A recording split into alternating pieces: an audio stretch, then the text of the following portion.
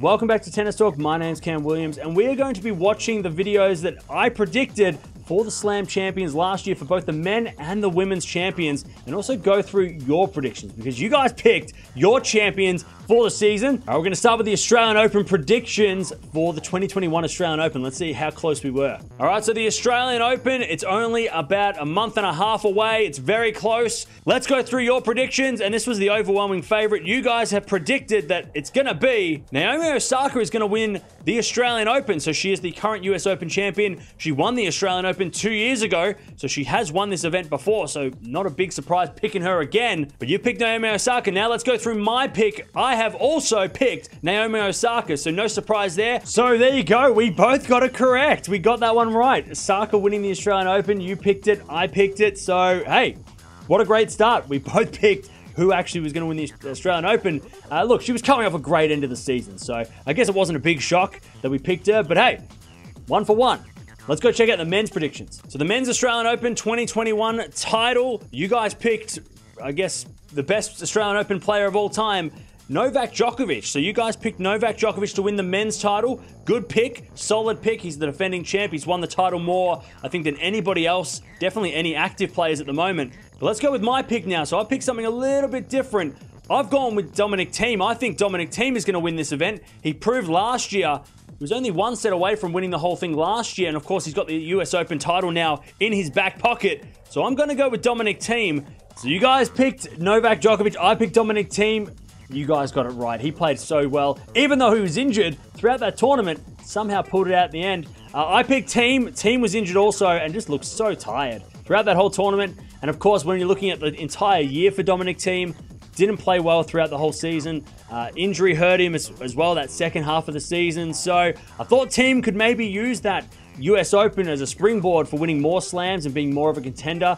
He lost too early and I had no chance. So you guys picked both the Australian Open champions last year, so kudos to you. All right, let's go check out the Women's French Open champion and who you picked. Of course, Iga Swiatek is the defending champion. Ash Barty won it back in 2019, but you guys have predicted that the winner of the 2021 French Open is going to be Simona Halep. So you picked Simona Halep. I think she's the queen of clay, and you guys also agree with me. So you think that she is going to win that event. Now let's go through my predictions. Who do I think is going to win the French Open? I also also think it's going to be Simona Halep. Okay, so let's be honest. We uh, we stuffed that one up. Uh, look, we didn't know that she was going to get injured, did we? She got injured before uh, the uh, the French Open was going to be even on. She didn't even play Wimbledon, so she didn't play for a while with that injury of the calf muscle. And of course, Krejcikova won. Who was going to pick Krejcikova?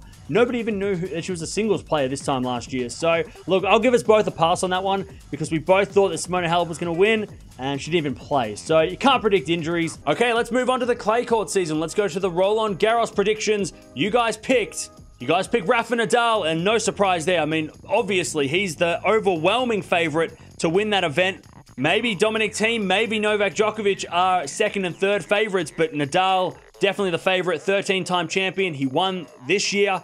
He's only lost a couple of matches at the event in his whole career, so definitely the solid pick. And now let's go to my pick. I've also gone Rafa Nadal. It's so hard to pick against Rafa at the French Open.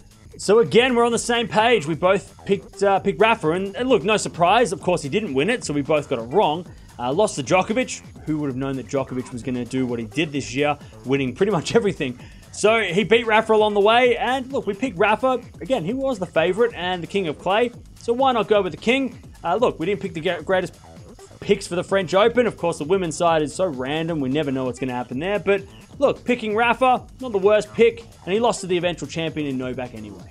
So the Wimbledon title, haven't seen anybody play on the grass for almost two years once we get to Wimbledon.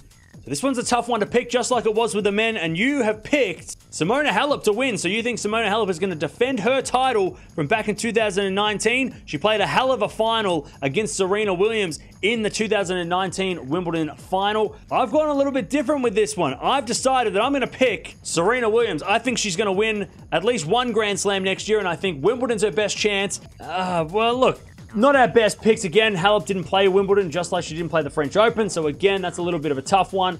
Uh, and Serena got injured in that first round. She played six games and then she got injured. So we both picked players that didn't play the entire tournament and then actually either withdrew uh, during the tournament or before. So very tough. And again, uh, maybe in hindsight, Barty was an obvious pick, and maybe Sabalenka or Kerber or Pliskova, who made it to the semi-finals of this year's event, maybe we could have picked them. But again, we hadn't watched Wimbledon for two years. We didn't know who could play on grass. Now that we know, this year's predictions might be a little different. But Barty got the win in the end. We both picked the finals from two years ago.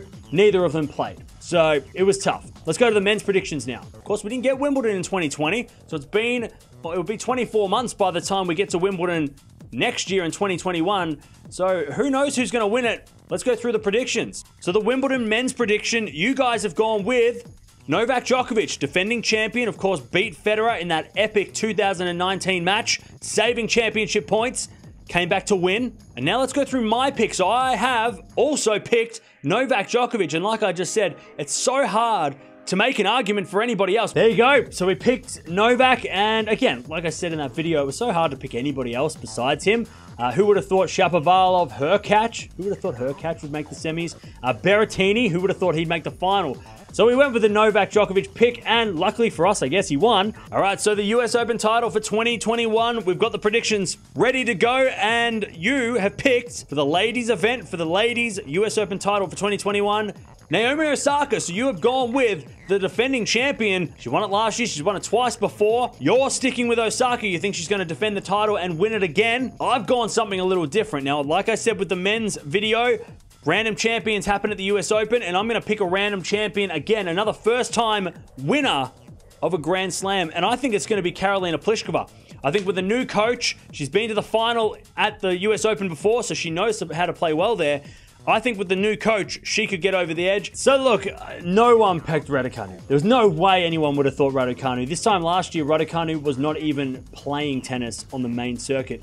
Nobody had heard of her. So I think we can both get a pass out of that one. Osaka lost to Fernandez, who ended up making the final. Uh, and Pliskova, I think, lost in maybe the fourth round or the quarterfinals. So she did okay, uh, but nowhere near win. Neither of them were anywhere near winning it.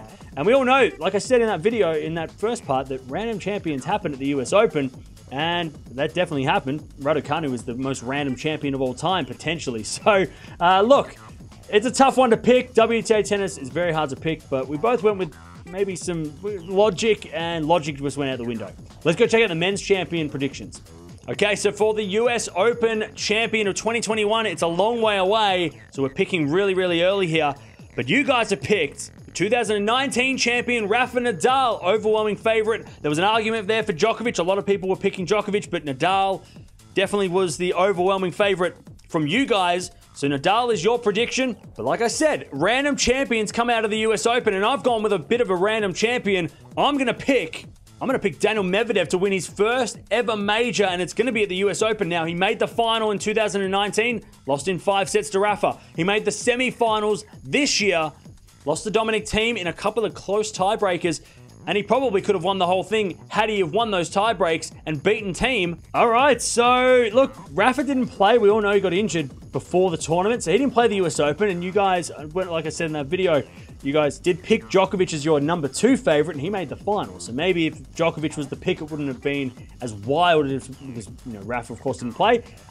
But I picked Medvedev, and he made me look like a genius. So uh, Medvedev, he got the win, of course. So I got that one right. Uh, but look, it's never easy picking 12 months in advance. Uh, it's never easy picking women's tennis. We all know that. Tell you what, three out of eight, that's not terrible, especially because we picked this 12 months in advance, and half of the predictions we picked withdrew from injury anyway. So I guess there's an asterisk next to a couple of those those predictions, especially the Rafa and the uh, Simona Halep uh, picks as well. So let me know down in the comments below if you did your own predictions for the tournaments. Let me know who you picked and how many you got right because I think a lot of the Novak Djokovic fans got three out of four right because you guys pick him for everything, uh, which is all right. Hey, look, he wins every time, so why not, right? But on the women's side, how many did you get?